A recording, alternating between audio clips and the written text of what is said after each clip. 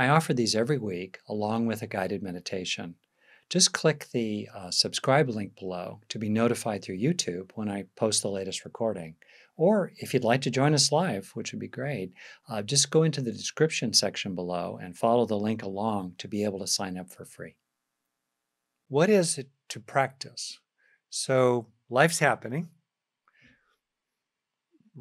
it's raining, other people, politics, traffic jams, the internet doesn't work, you have a toothache, uh, you're getting older, uh, friends pass away, um, your kids don't call you anymore or enough. Things, life. All right, what do we do? What do we do? And if you know, probably um, Viktor Frankl, who was dealing with, I think, the most awful conditions in life altogether, the Holocaust during World War II in uh, concentration camps. And in those settings, he famously wrote that um, there is a fundamental freedom, I'm paraphrasing here, uh, inside all of us in how we choose to respond to our circumstances and our experiences. That choosing and that responding is the essence of practice and the rest has to do with the details and skillfulness and appropriateness of various kinds of practices. In a sense, we can either be swept away by the storm willy nilly, completely out of, out of effect, or we can locate, even if it's just one half of 1% of our own being, a place inside that is establishing a way of relating to what is happening uh, that is uh, good for us in some way and better than being completely swept away. That's what it means to practice. Uh, concretely, I think practicing uh, with our circumstances and with our own minds can be organized in three fundamental ways. We can, first of all, simply be with what's present. We can accept it, uh, we can observe it. We can hopefully have some curiosity about it. We can be interested in it. We can um, investigate what's happening to understand it better. We're not changing it. We're not changing it, but we are being with it as a mode of practice. And a lot of um, contemplative practice is about being with what's there. Very important, very fundamental. Uh, Additionally, we can work with what's there, which has two elements to it that the Buddha identified in his wise effort element in the Eightfold Path, and he also identified throughout his, his teaching. Uh, we can, uh, in terms of working with things, we can prevent or reduce or entirely release that which is painful, stressful, harmful, toxic, unwise, foolish, ignorant, deluded, and so forth. We can let it go. Uh, and also, we can cultivate, we can grow, we can let in uh, and protect and increase that which is wholesome, useful, enjoyable, beautiful, um, awakened. So we have there these three modes of practice letting be, letting go, and letting in. And as a longtime therapist and a longtime meditator, and uh, someone who has some familiarity with a fairly wide range, not a full range, but a fairly wide range of psychospiritual traditions, uh, almost everything falls into one of these three categories. They work together. Uh, we often start by being with whatever we're feeling, and then we start shifting into releasing, and then we start shifting into replacing what we've released uh, with something that's a, a beneficial alternative. I've written a lot about this. I actually think that in my Making Great Relationships book, I summarized letting be, letting go, and letting in, maybe in the second of 50 chapters in that in that book, full of short chapters. So there's a good summary there, and you can find other things freely offered uh, online um, and in my slide sets and on my website that I've shared about this. So that's a way of relating to practicing. Uh, we can't practice all the time. Sometimes we're just blown out of the water, or sometimes we're just kind of daydreaming, wandering, you know, just all over the place. But at least some of the time, right? Especially when things are challenging, are we bringing to bear an orientation to it in which we're helping ourselves? We're not defeated. Uh, like Viktor Frankl, even in the most horrible of conditions, uh, we're retaining that fundamental human freedom and, and dignity in how we are going to relate to whatever's happening. And then kind of the rest of it is about skillful detail. So, so I'm going to be exploring here now two modes of practice broadly that can be applied to letting be and letting go and letting in, as well as to many specific things. And I'll make this quite specific and concrete as well as we explore what in Buddhism are the five hindrances or coverings of our true nature. Um, so, myself, I um, had no idea how to practice bottom up for a long time. Uh, as a kid in fairly ordinary, you know, middle middle class, suburban Los Angeles, American, intact family, not abusive, not traumatic, uh, but in my own case, fairly unhappy circumstances. I, for different reasons, I was pretty unhappy as a kid, including relating to feeling very shy and and uh, rejected and neglected, mainly neglected uh, with peers because I was very young going through school, which had pluses in certain ways. Um, but I just felt uh, pretty unhappy about myself.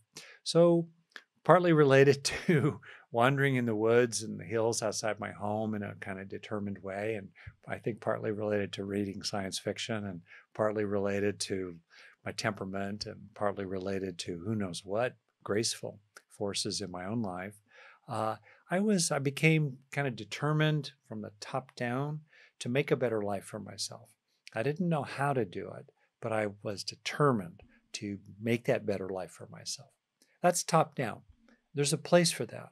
Uh, in psychology, we talk about executive functions like um, being able to uh, sustain effort toward a goal, even if it's uncomfortable, uh, to be able to take a complicated problem or situation, break it into its pieces, work on the different pieces, and then assemble those pieces into a single result.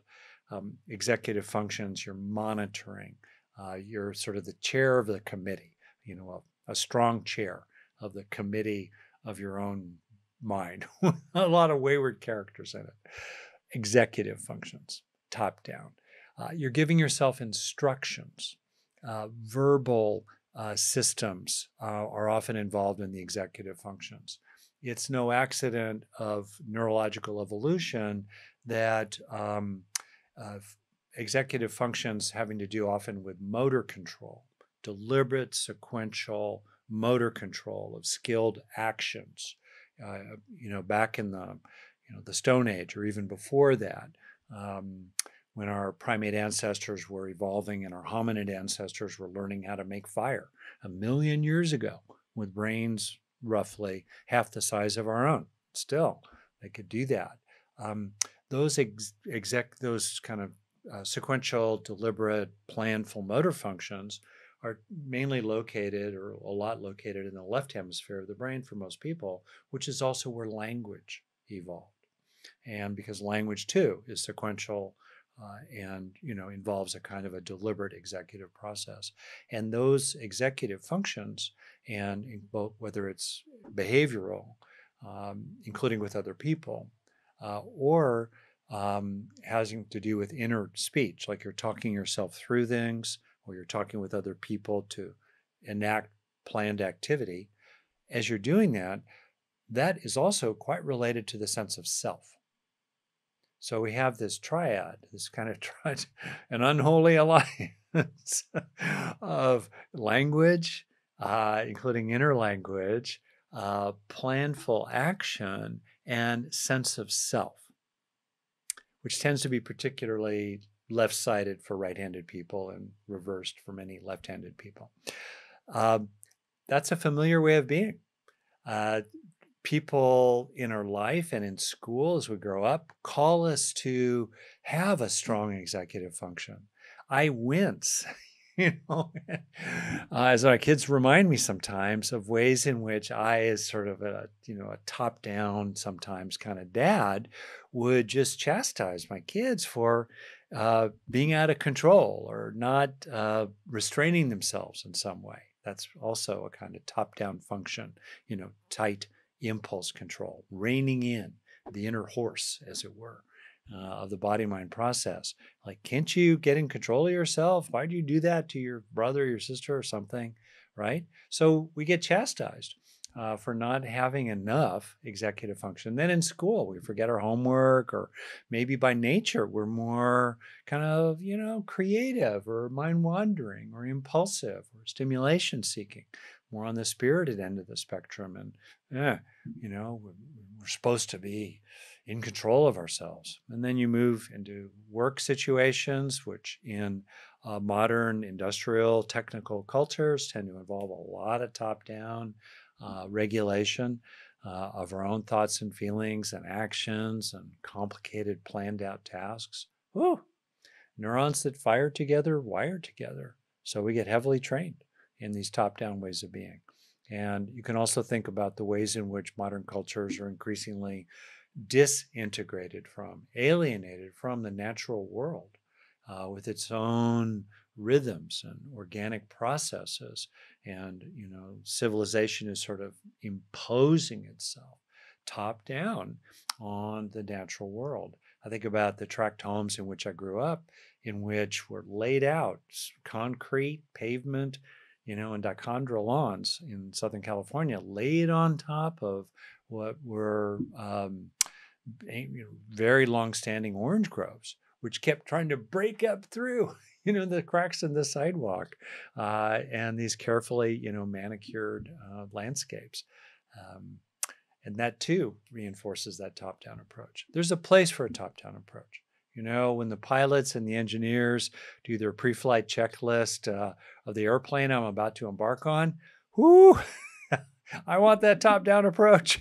you know, um, I forget his name. Somebody wrote the checklist manifesto about the value of moving through, you know, kind of procedural top-down checking, whether it's, um, you know, getting a plane ready for a flight or a surgical procedure. There's a place for top-down, and some people, you know. they could use a little more top down, right? And uh, you know who you are, or you know who they are, right? But on the whole, on the whole, hello, I, I'm Rick, and I'm a top down aholic or something like that, right? Just admitting it. Most of us, me included, have an overdeveloped um, muscle, neurons that fire together, wire together.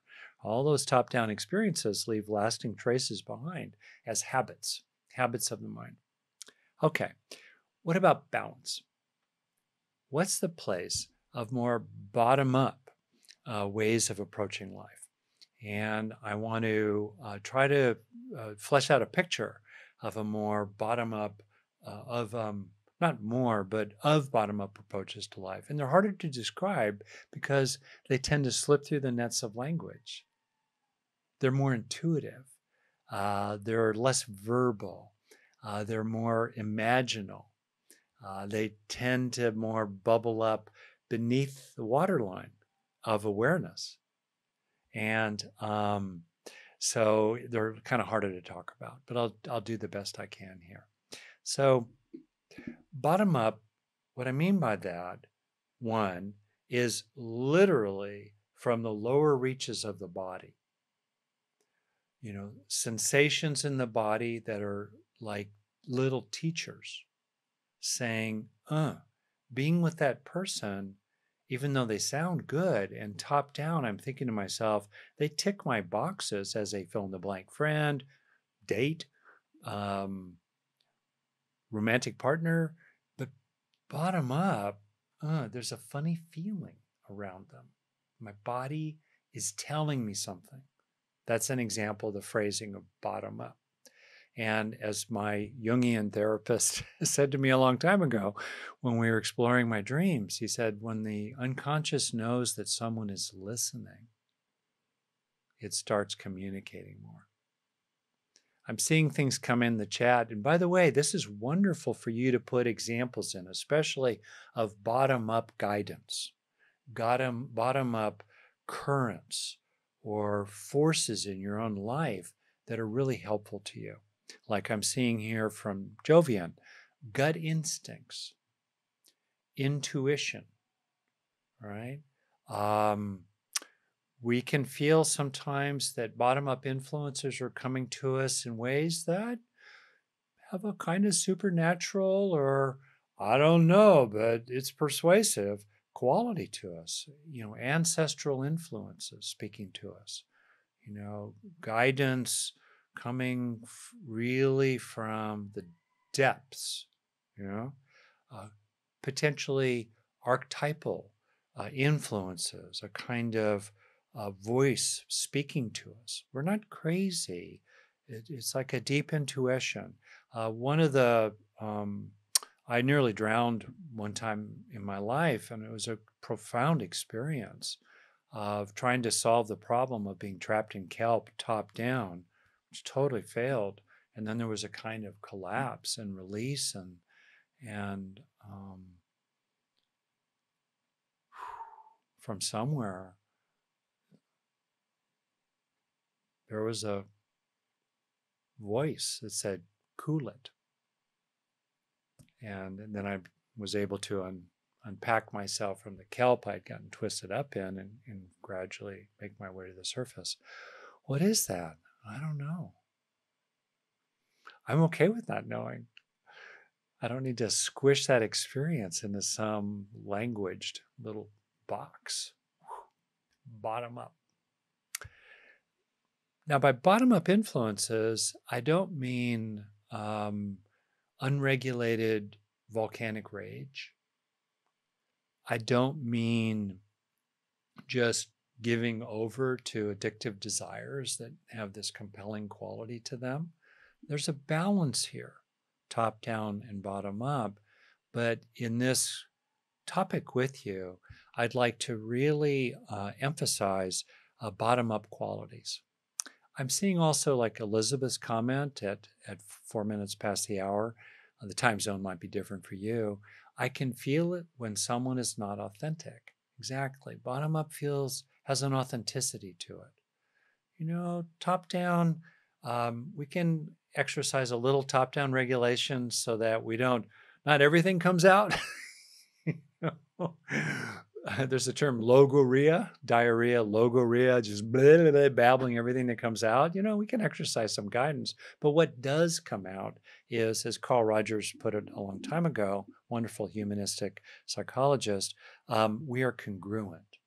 That what we express to the world and what we are aware of internally, uh, it lines up with what is actually true in our own depths. Okay? So, I want to apply uh, at a fairly brisk pace as an exploration uh, that you might like to pursue further. I'd like to apply this approach to what in Buddhism are described as the five hindrances.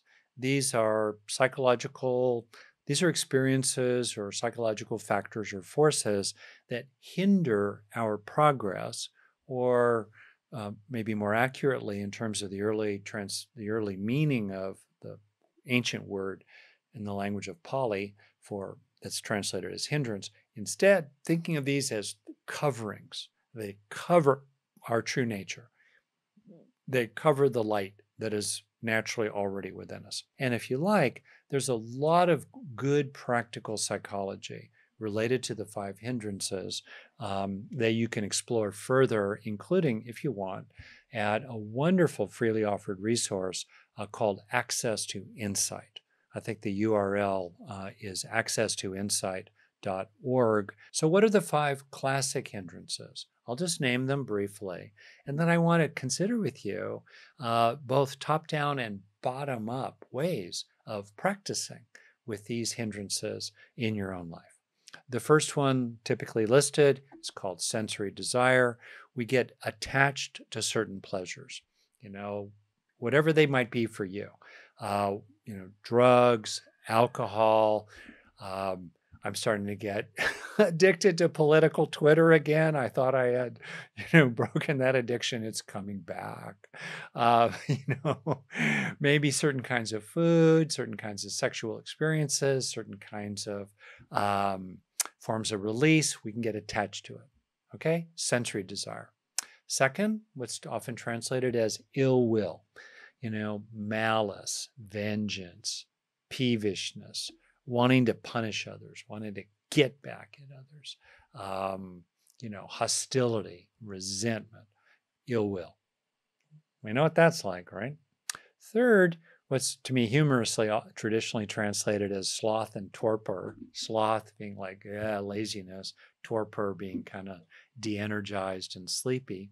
Uh, you know, this is about, in a way, not making an effort. Uh, we just go, eh, phone it in. You know, we don't do our best. We just, eh, we don't have any juice for it. Uh, now, sometimes health issues get in the mix there. That's very important, or mood because one of the hallmarks of depression is a lack of motivation, and often combined with a, a physiologically grounded fatigue.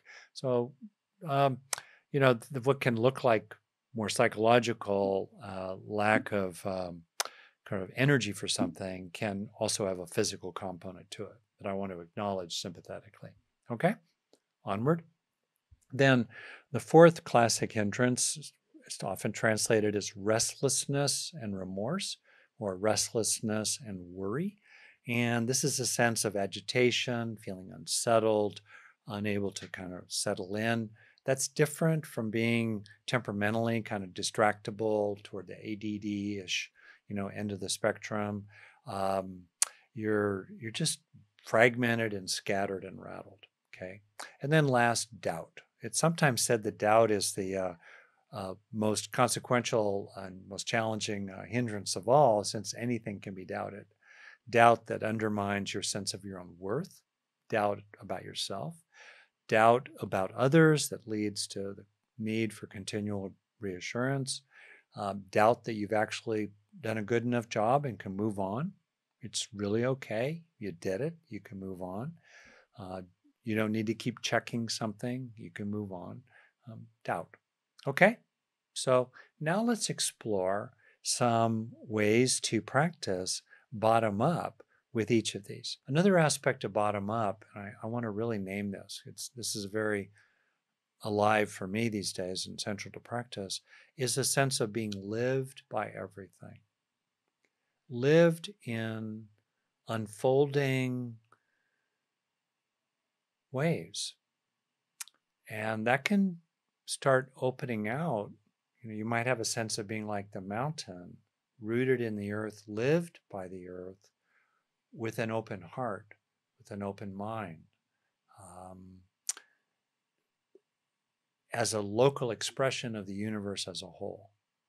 Or to use the metaphor, uh, being a local wave in the ocean of reality or a local current in the river of time. Yeah any of these are being made and the, and the nature of this local current uh, and the nature of the wave, let's say, is of course water.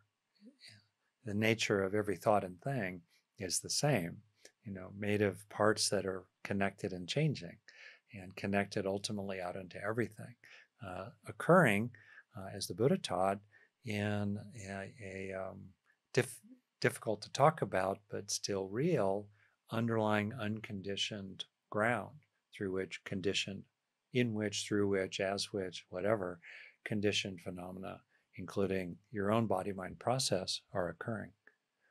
Huh, that's very deep, isn't it? And, you know, the sense of um, openness to and accessibility to over time uh, can grow to that sense of being lived by everything. That too is a very important kind of uh, bottom up influence in our life. So, in a way, I'm talking here about how can we uh, surrender. Top down is not surrendered. Top down, including in ways that are virtuous, is directive. It's penetrating. Right? Bottom up whew, is more surrendered. It's given over to that which, let's say, is arising and living through you in good ways and carrying you along. Top down helps us have a little useful executive discernment about the things that seem to be living through us that are beneficial and some that are not so beneficial. We have a little discernment there. But generally speaking, there's a familiar sense of, of um, what is wholesome and wise and beneficial coming up and living through us. Let's look at this in terms of each one of these five hindrances. And I want to give you an example. So, sensory desire. Think of something that you like and a lot and then tend to want a lot that may have some short-term gain but long-term pain. What might that be? you know, binge watching TV or clicking through YouTube, um, you know, videos about various topics of interest. I confess, uh, food, drugs, alcohol, you know, pleasures of different kinds, whatever it might be. Maybe there's something. This may not speak to you, but maybe there is something that you know it's hindering you. It's covering over your true nature. Well, top down, you could make a list of the costs of that particular thing you could, you know, organize your pantry so you and your refrigerator so you don't have those things in them. You know, you could do those things. There's a there's a place for that. You could, you know, frankly, top down has some risks of being bossy and mean and critical and punishing and harsh toward yourself. You know, bad bad Ricky, bad Ricky, still wanting that fill in the blank. Bad, bad. All right? Top down. How about bottom up? Well, bottom up might be being aware of and kind of in tune with a sense in your body of feeling really healthy and content as you are. You know, really um, aligned with what is truly long term healthy for your body. Could have, you might get in touch with a sense of that in your body. Oh, and and be increasingly given over to that feeling in your body when it is eaten in healthy ways, when it has, you know, released, disengaged from intoxicants, because as the Buddha said, intoxicants cloud the mind and lead to heedlessness. You're, you're disengaged from that. You're centering yourself in a different way of being. You don't have to push yourself um, away from those sensual desires. You've simply centered in uh, a feeling of being that is free of them. Oh. There could even be a sense of, uh, of feeling happy and pleasured in ways that are farther reaching and healthier for you with fewer costs more profound, even more elevated in a good sense, more elevating. You could give yourself over to other pleasures that crowd out and replace the problematic sensory desires. These would be ways from the bottom up. You could feel already completely content uh, in a sense of awestruck gratitude in being lived and conscious and conscious of being lived by everything. Wow. Okay. How about ill will? Well, top down, you could say to yourself, nah, don't be so mad at them. All right. And other kinds of things. Um, you could try to talk yourself out of your feelings. Okay. Bottom up, for example, you could open to uh, a, a kind of unconditional open heartedness and goodwill toward all beings while reserving rights, of course, to you know adjust the size of your relationship and the type of your relationship uh, with other people, depending on how trustworthy they are, or what they're like, or what it's like to be around them. You can certainly adjust those things while still retaining an increasingly unconditional almost like a Wi Fi base station in your heart radiating of a fundamental good wishes toward others, including those that um, you disagree with politically or feel in the sake of justice, you know, require some kind of punishment. Uh, I say these things quite carefully. You know, we can be a, we can be aware of a moral. We can look at out at the world with a moral view that sees what it sees and values what it values, including others that you know um, are not you know are are are behaving in ways that are harmful. We can do all that while retaining this fundamental goodwill and good wishes that does not let hatred invade and poison the heart. Right? That would be bottom up. Uh, we might have a kind of global perspective coming up from the depths about the big picture. You know, tyrants come and go, kings and queens rise and fall. Um, this is a tiny little planet, you know, in the big Milky Way galaxy, which is a tiny little galaxy in the Big Bang universe amidst another trillion or two trillion other galaxies. I mean,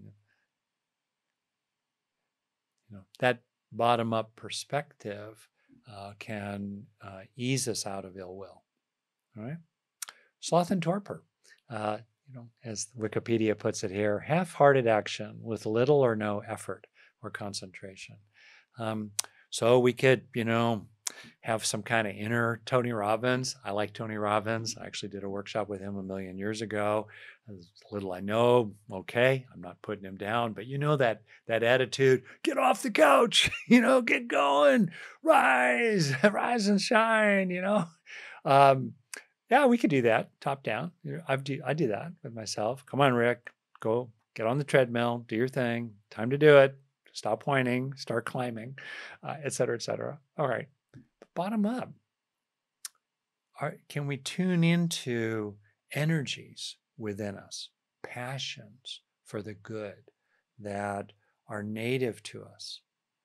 Maybe even they feel like they're connected to, you know, life itself, the natural world. The sun is shining, you know, the birds are chirping. There's an aliveness and aliveness in us that lifts us and rises us and moves us forward. Can there be an opening to that? Here, too, uh, is a good way to make a point that we can use top down approaches to invite and unleash bottom up forces, influences, currents that are really good for us.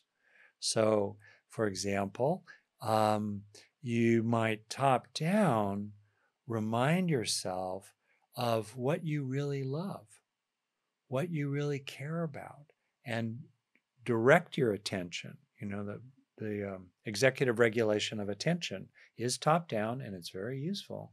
You can direct your attention to um, the things in your that you really care about that are that are really important to you and which give you energy. You feel uh, an energy from whatever that might be, including an energy for awakening, an energy for practice. Um, you know, love, by the way, is very energizing. You know, the valuing of love and being loving and being lived by lovingness, moving through oneself in uh, un, in ways that are not contingent, so, or that are less and less contingent on your circumstances or who you're with, or simply increasingly you're naturally an, an expressively loving person more and more and more. That's a way to um, deal with the hindrance of, of sleepiness, lack of energy, laziness, lack of motivation love. Okay? Restlessness and worry. So, uh, you know, or remorse, you know, we're, we're negative rumination. This is negative rumination territory a lot. All right. So, top down, you could say snap out of it. You could use like a therapeutic technique. Supposedly, I never recommended it. You wear a rubber band, and as soon as you start to ruminate about something or obsess about something as a form of rumination, you snap the band. It's It's mildly uncomfortable, but it's enough of like a ding, zings you out of it. All right, you could tell yourself to do those things. Okay, I got it. On the other hand, bottom up, there could be the giving of forgiving of yourself. You could open to a kind of soothing balm of blessing of yourself that seems to come. It's you, and yet it's sort of not you.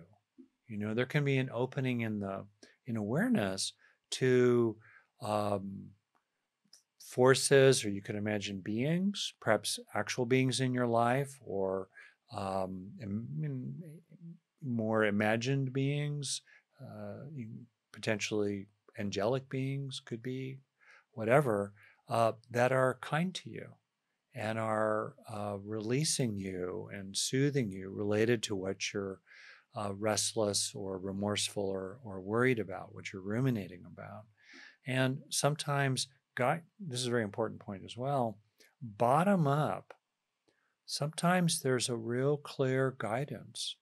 Um, I've had phrases arise in my mind that really came from the bottom up, and I listened to them. Phrases were, don't be a fool. And it wasn't like this harsh shaming, don't be a fool, don't be a sinner, don't be a fool. No, no, no. It was more like uh, wisdom. you know, I'm thinking of Gandalf at the bridge and Barad-dûr about to be sucked down by the Balrog, so, you know, holding onto the bridge and looking at his friends who are wanting to help him but can't. And if they try to help him, they'll all die. And he says, "Run, fools!" You know, it's a wise guidance, you know, that can come from the bottom up. That can tell us, you know, you need to get going. Uh, need to. Uh, only you will write this book. You know, that kind of clarity has arisen in me, and, and, and it was really important from the bottom up. So there can be guidance from the bottom up you know, guidance as well as forgiveness coming from the bottom up, uh, guidance to deal with what you're worried about and remorseful about or preoccupied about. So take action. Action binds anxiety, as Angeles Arrien said. That's guidance coming from the bottom up, has a feeling of um, persuasion in it. It's like a rising tide to like get out of the way of doing what's necessary to deal with what you're ruminating about as best you can, while also in a really sweet and tender, kind way from the bottom up, you know, like forgiving you and encouraging you and, and being nice to you from the bottom up. Okay. And then last, doubt.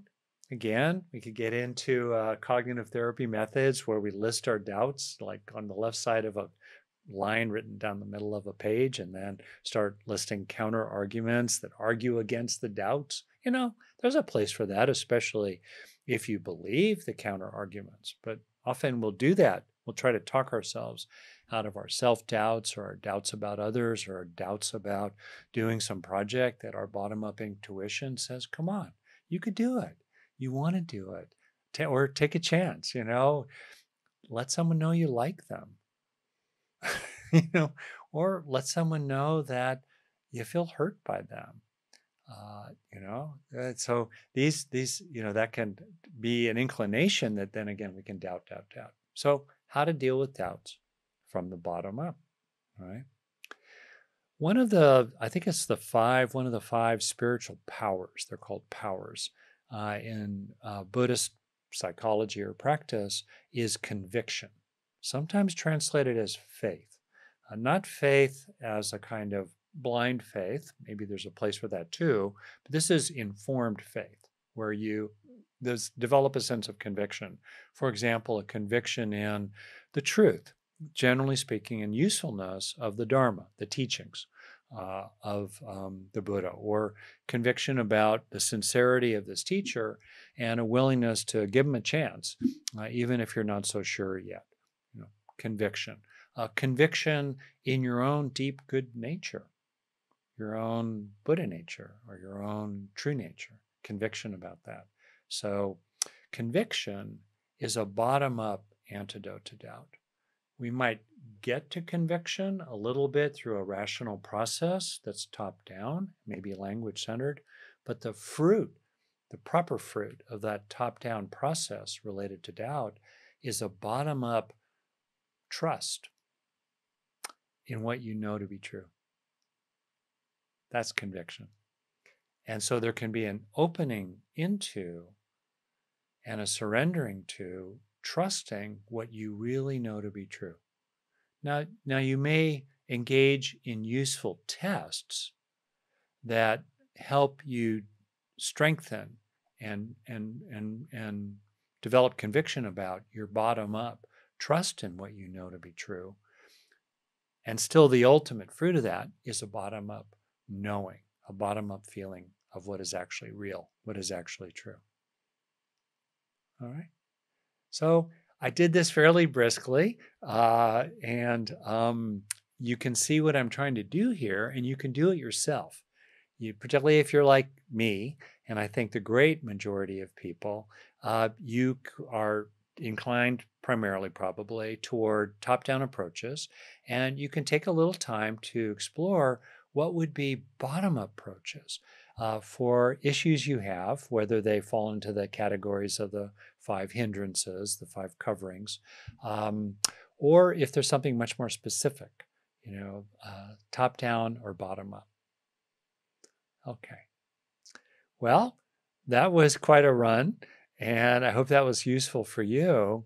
Uh, I would just say, if I were to finish here, the fundamental good news top the top down approach sort of implicitly has built into it that if I don't exercise top down control, guide, you know, regulation of some kind, all hell will break loose. you know? the id will erupt, chaos will reign. Ah, right? There's some, there's an implicit notion there. And uh, in the top down approach, uh, you know, to some extent, we do need to regulate ourselves. You know, the the you know the mind brain system evolved, and it's kind of a jungle in there. Okay, okay, okay, and still, it's you know, it has a certain view that's not so trusting. Bottom up approaches, implicit in them, are a view and a feeling that deep down inside, all is well we may not be in touch with it at all. It might be very elusive, but deep down inside, it's good stuff there. That the rising wellspring inside you is good. And that the making, you know, what reality makes is sometimes tragic and uh, unjust and, and horrible. If, if, if as simple, not simple, but such as an enormous storm system moving through the Caribbean and affecting many, many people there, including people I know. Um, so, what reality makes isn't always pretty. Uh, I'm not trying to talk us out of seeing clearly, including deliberate acts reality is making those deliberate acts of those uh, actors who are harming many others. What is made can be good or bad, depending on our value system. And you, there's no escape from values, but the makingness in reality, the ongoing givingness of reality, the constructing of reality continuously at the front edge of now wow, the makingness of reality is extraordinary. And we're being continually, continually lived by that at the front edge of now. And so that's a kind of big way that we can increasingly grow into a felt sense of, of appreciating uh, what we can also appreciate in more intimate and down to earth and you know easier to talk about kind of ways that um, our depths are good. There's great wisdom there. We can trust ourselves in a deep way. And that's at the heart of this approach to living and approach to um, solving our problems and, and practicing and and and um, having relationships that we can be increasingly open to um, the goodness in bottom up influences.